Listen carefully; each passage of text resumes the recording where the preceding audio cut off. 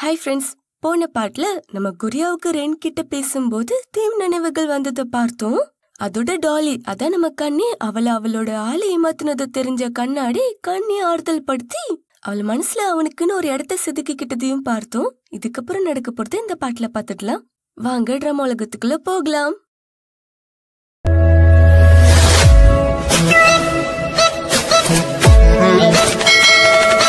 குடும்பத்துக்கு இப்படி ஒரு கஷ்டம் வந்துட்டேன்னு மன கஷ்டத்துல குரியா இருக்கும்போது வீட்டுக்கு வரதுக்கு முன்னாடி நடந்ததை யோசிச்சு லைட்டா ஃபீல் பண்றான். அதுல அப்படி என்ன நடந்திருக்குன்னா கொரியா ஃப்ரெண்டு கொரியாவையும் ரெண்ணையும் ரெஸ்டாரண்ட்டுக்கு வர சொல்லிருப்பான் அதனால ரெண்டும் கொரியாவும் பேசிக்கிட்டு இருக்கிறத பாதிலேயே ஏன் கண்ணி நம்மள இங்க கூப்பிட்டிருக்கான்னு தெரியலையேன்னு என்னவா இருக்கும்னு யோசிச்சுட்டே வரும்போது அங்க கண்ணியோட பாய் ஃப்ரெண்ட் நிக்கிறத பாக்குறா கொரியாவும் இது கண்ணியோட பாய் ஃப்ரெண்ட் ஆச்சு இவன் இன்னொரு பொண்ணு கூட இங்க என்ன பண்ணிட்டு இருக்கான்னு? அவன் பக்கத்துல போய் பார்க்க போறா ரெண்டும் கொரியாவை தடுக்கிறான். வெயிட் பண்ண அவங்க என்ன பண்றாங்கன்னு பாப்போம்னு சொல்றான். இவளே இவன் பேச்சு கேட்டு பாக்க அந்த புள்ள கண்ணி பாய் ஃப்ரெண்ட் ஓவரா உரசுறான் டே அதோ பாரு அந்த பேக் நல்லா இருக்குல்ல. வா உள்ள போய் பாக்கலாம்னு சொல்ல. ஓ இந்த பேக்கா இதெல்லாம் ரொம்ப சீப் நான் நினைச்சேன் அந்த கடையை உனக்காக வாங்கி தருவேன்னு சொல்றோம் அப்ப வாடா உள்ள போய் பாக்கலாம்னு சொல்லு.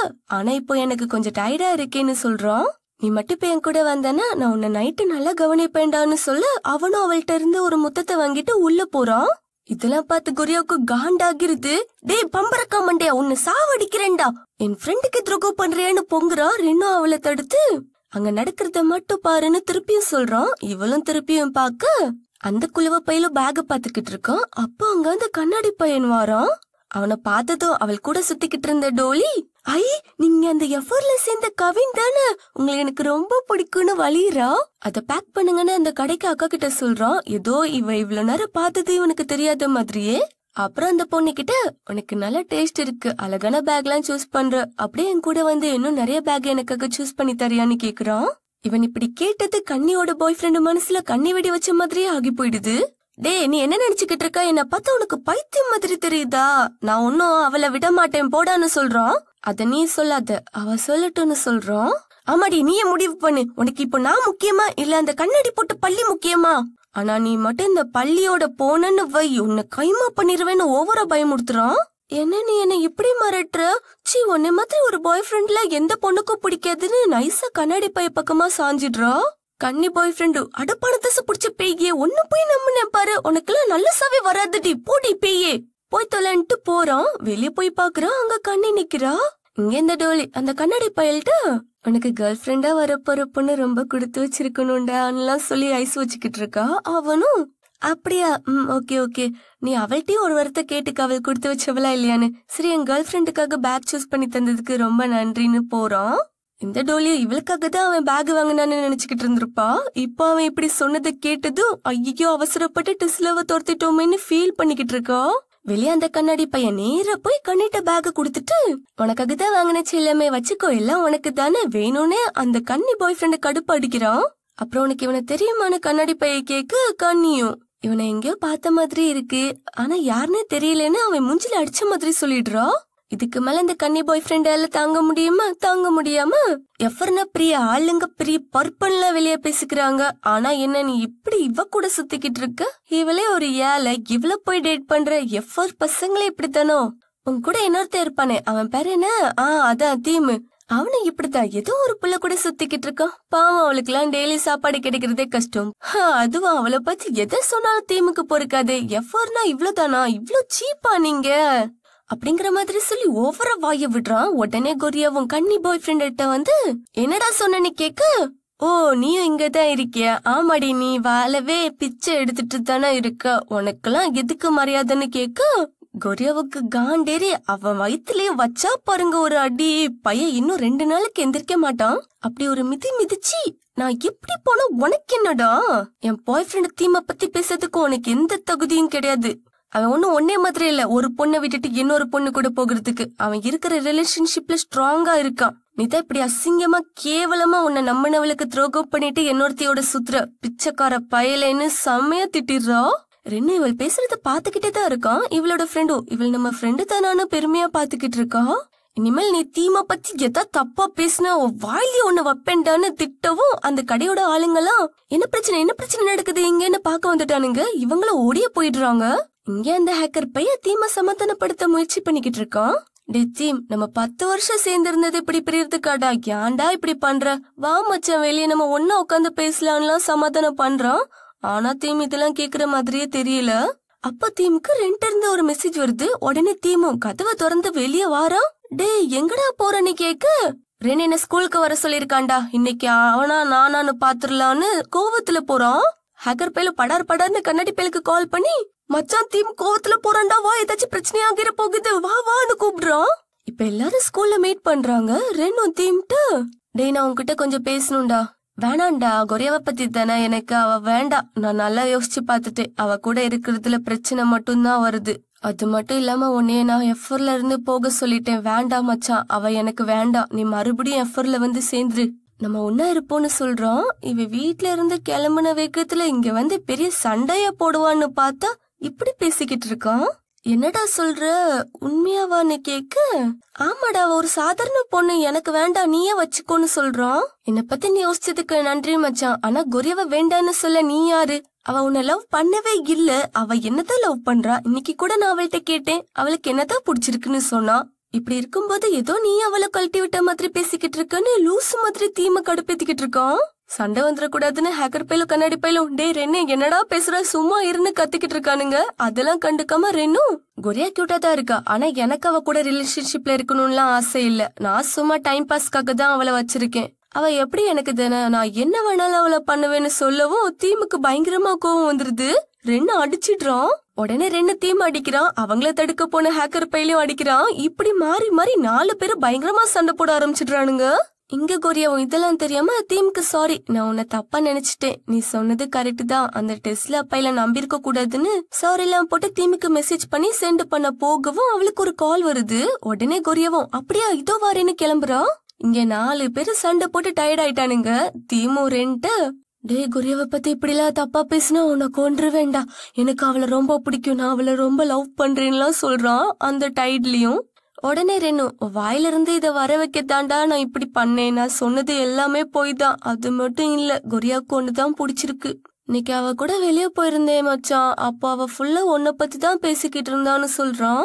அதை கேட்ட ஹேக்கர் பையிலும் கண்ணாடி பையிலும் இதுக்காக வாடா இப்படி சண்டை போட்டீங்க? ஐயோ அப்படிங்கிற மாதிரி முழிச்சுக்கிட்டு இருக்கானுங்க. ரெண்டும் சிரிச்சுட்டு தீமுக்கு போய் கை கொடுக்கறான். மச்சா அவ உனக்கு தாண்டா இனிமே இப்படி அவளை விடுறேன்னு லூசு மாதிரி பேசாதன்னு சொல்றான் இப்படியே நாலு பேர் சிரிச்சிட்டு பேசிக்கிட்டு இருக்கானுங்க. அப்ப அங்க கொரியாவும் வந்துடுறா. வந்து இவனுங்க இப்படி இருக்கிறத பார்த்து டே உங்க நாலு பேருக்கும் மரக்கலண்டுடுச்சா? எதுக்கிட்ட சண்டை போடுறீங்கன்னு தீமை போட்டு அடிக்கிறா? உடனே எல்லாரும் இல்ல இல்ல சண்டைலாம் முடிஞ்சிருச்சு. நாங்க சமாதானம் ஆயிட்டோம். இனி நீயும் தீமை தான் பேசணும்னு ரென்னு சொல்றோம். நாங்க என்ன பேசணும்னு ரென்னி கிட்ட கேக்கு? நீ தானே அந்த கடையில வச்சு உன் ஃப்ரெண்டோட பாய் ஃப்ரெண்ட தீமு உன் பாய் ஃப்ரெண்டுன்னு கத்துன. போ போய் பேசுன்னு எல்லாரும் கிளம்பிடுறாங்க. உடனே தீமு கொரியாட்ட அப்படியா நான் உன் பாய் ஃப்ரெண்டுன்னு சொன்னியா நீ கேக்கு? இல்லையே நான் நான் பாய் பேண்டுன்னு தான் சொன்னேன். பிஎஃப்லாம் சொல்லலன்னு சமாளிச்சுக்கிட்டு இருக்கோம் இங்கே மூணு பேரும் நடந்து போய்கிட்டு இருக்காங்க. நடந்து போய்கிட்டு இருக்கும்போது அந்த ஹேக்கர் பையில் உரன்ட்டு டேய் ஆனாலும் நீ இன்னைக்கு ரொம்ப ஓவரா பண்ணிட்டடா. என்ன அடின்னு நினைக்க? செம்ம அடிமாச்சா இந்த காயம் ஆறதுக்கு பத்து நாள் ஆகும்னு சொல்லு. டே எனக்கு தீமை அடிக்கணும் போல இருந்துட்டா அதான் இப்படி பண்ணின்னு சொல்றான். அவனுங்களும் ஏன்டான்னு கேட்டதுக்கு? சின்ன பிள்ளையில தீமியும் பொம்மைய உடைச்சிட்டான். அதுக்கு தான் சின்ன பிள்ளைத்தனமா சொல்லிக்கிட்டு இருக்கான். இப்படியே மூணு பேரும் பேசி சிரிச்சிட்டு போறானுங்க. இங்க கொரியாவும் தீமுக்கு மருந்து போட்டு விட்டுக்கிட்டு சாரிடா நான் உன்னை புரிஞ்சுக்கல. நீ அந்த கண்ணியை ஏமாத்தினவன்ட்ட சண்டை போட்டது சரிதான். அவன் என்ன தப்பா பேசினான்னு தானே உனக்கு கோவம் வந்தது. ஆனா இது எனக்கு லேட்டா தான் புரிஞ்சுது. என்ன மன்னிச்சிரு. மேல கோவப்பட்டு நான் எங்கடி போக போறேன்? எனக்கு உன்னை மட்டும் தாண்டி பிடிக்கும். ஐ லவ் யூ டின்னு அவளை கட்டி பிடிச்சுக்கிறான். என் குடும்பத்துல எல்லாருமே பணக்காரங்க. அதனாலயே நான் பண திமிரில வாழ்ந்துட்டேன். ஸ்கூல்லயே எல்லாரும் என்ன மதிக்கணும் எல்லாரும் என்ன பார்த்து பயப்படணும்னு தான் நான் எஃப்ஓரையே சேர்த்தேன். அப்படி எல்லாரும் என்ன பார்த்து பயப்படுறதும் நான் எல்லார்ட்டையும் ஒவ்வொரு விஷயத்துக்கும் சண்டை போடுறது எனக்கு ரொம்ப பிடிச்சிருந்து. ஆனா நீ தான் என்ன தைரியமா ஃபர்ஸ்ட் எதிர்த்து நின்ன. நான் யாருன்னு நீ தான் எனக்கு புரிய வச்ச. எல்லாமே உன்னாலதான். நான் உன்னை ரொம்ப லவ் பண்றேன். இனிமே நான் எந்த சண்டைக்கும் போக மாட்டேன். அது மட்டும் இல்ல இனிமே எஃப்ஓர்ல இருந்து எந்த ரெட் கார்டும் யாருக்கும் போகாது. இந்த இடத்துக்கு யாரும் வர வேண்டிய அவசியமும் இனி இருக்கு இருக்காதுன்னு ஒரு ஸ்ப்ரே எடுத்து அந்த கதவுல கீச்சுக்கிட்டு இருக்கான்